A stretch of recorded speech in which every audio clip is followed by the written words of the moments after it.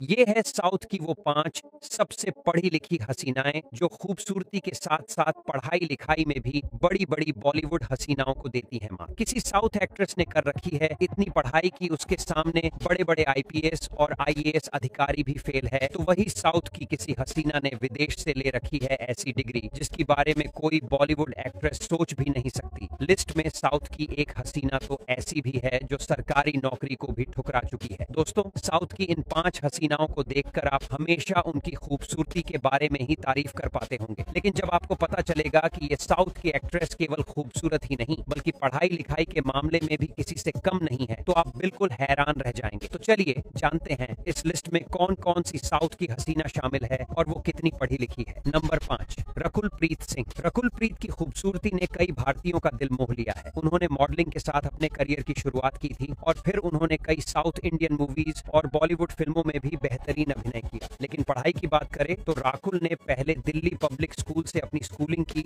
और इसके बाद उन्होंने दिल्ली यूनिवर्सिटी के जीसस एंड मैरी कॉलेज से मैथमेटिक्स में डिग्री हासिल की हुई है। नंबर चार, नयनतारा। नयनतारा को साउथ इंडिया की लेडी सुपरस्टार कहा जाता है। उन्होंने कई मलयालम, तमिल और तेलुगु फ़िल्मों में अभिनय किया है। नयनतारा, चंद्रमुखी, गजनी और बिल्ला जैसी सुपरहिट मूवीज़ में नज़र आ चुकी नयनतारा साउथ इंडिया की हाईएस्ट पेड एक्ट्रेस में से एक है। उन्होंने अपनी स्कूली शिक्षा तिरुवल्ला में बालिका माडोम हाई स्कूल से पूरी की है। उन्होंने इंग्लिश लिटरेचर में बैचलर में डिग्री हासिल की है। उन्होंने ये डिग्री तिरुवल्ला में मार्थोमा कॉलेज से प्राप्त की। नंबर तीन, तमन्ना भाटिया। तमन्ना भाटिया न सिर्फ़ साउथ इंडियन मूवीज़ में काम करती है, बल्कि वे कई हिंदी बॉलीवुड मूवीज़ में भी काम कर चुकी है। हालाँकि साउथ इंडिया में उन्हें काफ़ी पसंद किया जाता है। उन्होंने तेरह साल की उम्र में हिंदी में अपनी पहली फ़िल्म चाँद सा रोशन चेहरा से अपना फिल्मी करियर शुरू किया था। तमन्ना ने मुंबई के मानिक जी कूपर एजुकेशनल ट्रस्ट स्कूली शिक्षा पूरी की। इसके बाद उन्होंने मुंबई के नेशनल कॉलेज से बैचलर ऑफ़ आर्ट्स की डिग्री हासिल की हुई है। नंबर दो,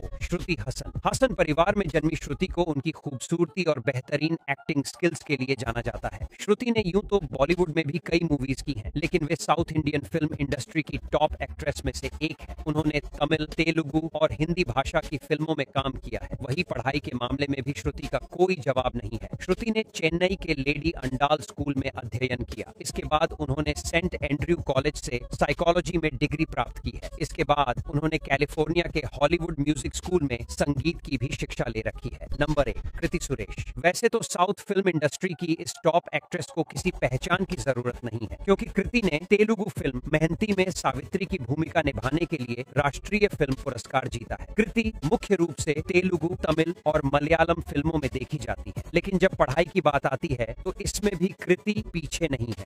ने फ़ैशन डिज़ाइनिंग में डिग्री पूरी की।